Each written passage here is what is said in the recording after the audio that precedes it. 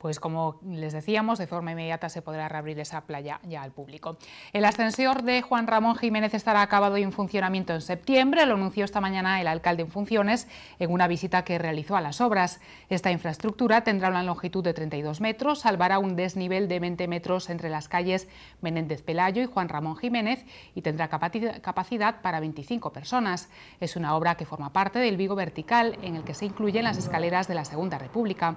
Abel Caballero recordó además que el ascensor lo ha diseñado de forma específica para este sitio una empresa viguesa que también fabrica elevadores para cruceros.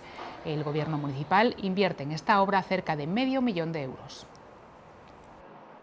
Es una inversión que va a ser social y económicamente enormemente rentable, porque significa la conexión de dos áreas de Vigo que estaban separadas como si hubiera 50 kilómetros entre ellas. No hay conectividad entre esta zona y la zona de Camelias, son dos zonas muy importantes de la ciudad de Vigo, sin conectividad porque la estructura geográfica la imposibilitaba.